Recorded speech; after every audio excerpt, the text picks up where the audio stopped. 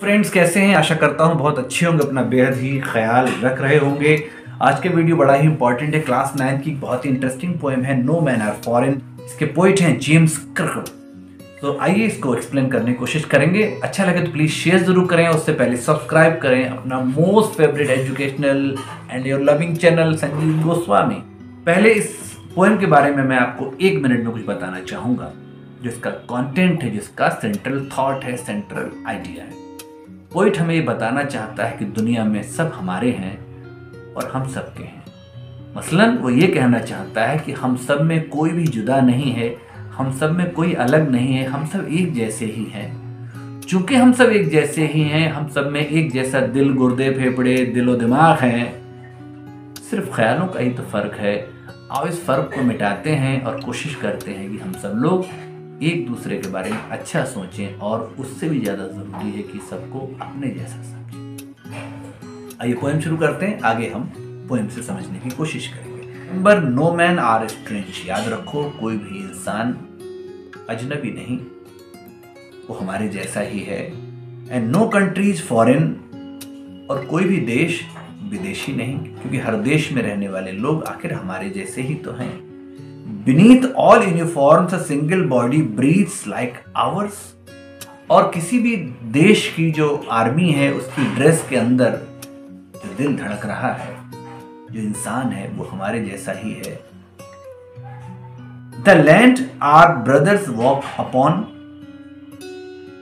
और जिस धरती पर जो लोग चल रहे हैं इज़ अर्थ लाइक दिस इसी धरती पर, इसी तरह की धरती पर, हर जगह जैसी है। In which we all shall lie एक दिन हम सबको इस जमी में ही खाक हो जाना है, या जमींदोज हो जाना है, या इसमें दफन हो जाना है, या इसमें भस्म हो जाना है। तो फिर ये अलग होने का क्या किस्सा है, क्या फसाना है? They too aware of sun and air and water दूसरे मुल्क के लोग भी इसी धरती को, इसी सूरज इसी वायु और इसी पानी से वाकिफ हैं, परिचित हैं। Are fed by peaceful harvest और इसी ज़मीन पर होने वाली फ़सल से वो सब जीवित हैं, वो सब पलते हैं। By wars long wintry starved लेकिन जब युद्ध आता है, युद्ध की जो सर्द रातें हैं, वो हम सबको भूखा मार देती हैं। स्टार मीन्स हम भूख से बिलबिला रहे होते हैं। देयर हैंड्स आर आवर्स इनके हाथ हमारे हैं। And in their lines we read और इन हाथ की रेखाओं में हम पढ़ सकते हैं।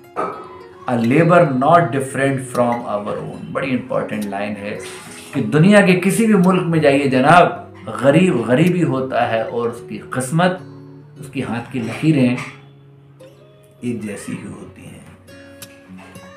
Remember they have eyes like ours that wake और स्लीप हमें ये भी नहीं भूलना है साथियों कि उनकी जो आँखें हैं, वो हमारे जैसे ही हैं। वे हमारे जैसे ही जागते हैं और हमारे जैसे ही सोते हैं।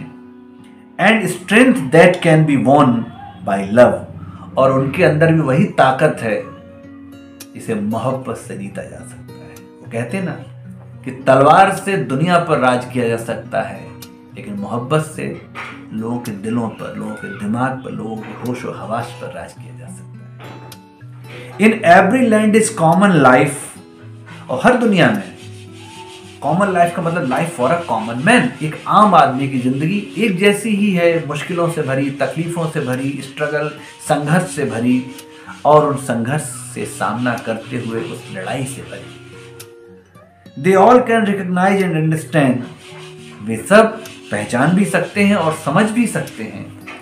लेट अस रिमेंबर हम सबको याद रखना चाहिए। Whenever we are told हमसे जब कभी भी कहा जाता है टू हेट आवर ब्रदर्स कि अपने ही भाइयों से नफरत करो। इट इज़ आवर सेल्फ ये हम ही होते हैं that we shall dispossess betray and condemn जिन्हें दुनिया की हर खुशियों से महरूम किया जाता है, वंचित किया जाता है बिट्रे किया जाता है, धोखा दिया जाता है या फिर कंडेम उसकी निंदा की जाती है। मसलन, गरीब की काबिलियत को हमेशा नीचा दिखाया जाता है, उससे हमेशा, उसे हमेशा पीछे ही रखा जाता है। Remember we who take arms against each other याद रखो ये हम ही तो हैं जो एक दूसरे के खिलाफ हथियार लिए खड़े हैं।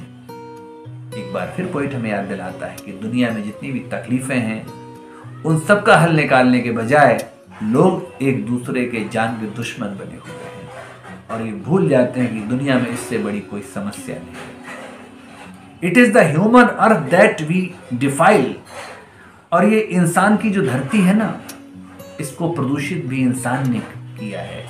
इसमें जितनी भी गंद फैलाई है, जितनी भी तकलीफ़ें जो पैदा हुई हैं, जो जितना भी हम देख रहे हैं या वो पॉल्यूशन हो, गंदगी हो, वो सब इंसान का दिया हुआ है।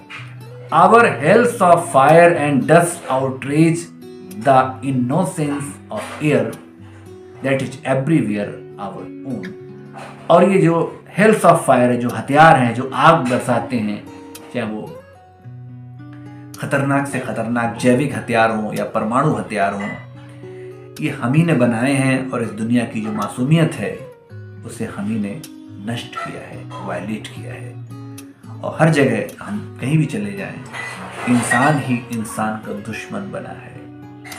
रिमेंबर याद रखो नो मैन आर फॉरेन कोई भी दुश्मन नहीं है। और नो कंट्री स्ट्रेंज और कोई भी देश अजनबी नहीं है।